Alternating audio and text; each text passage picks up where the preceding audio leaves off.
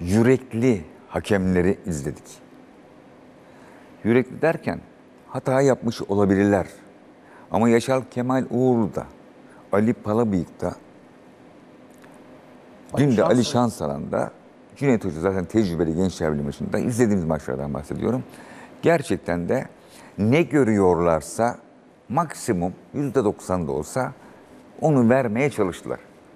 Gerçekten de her zaman biz eleştirirken MHK'yi ve kurulları saygı göstermemiz gereken de günler olacak. Bence birkaç haftadır toparladılar hakemler.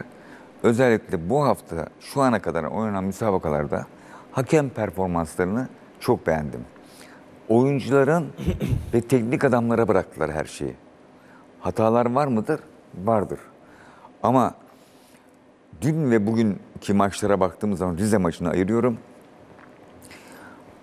Taktik hani bazen futbolda yorumları şöyle yaparlar. Kardeşim futbol öyle iş 5 2 4 geçin bunları falan denir genelde bazen.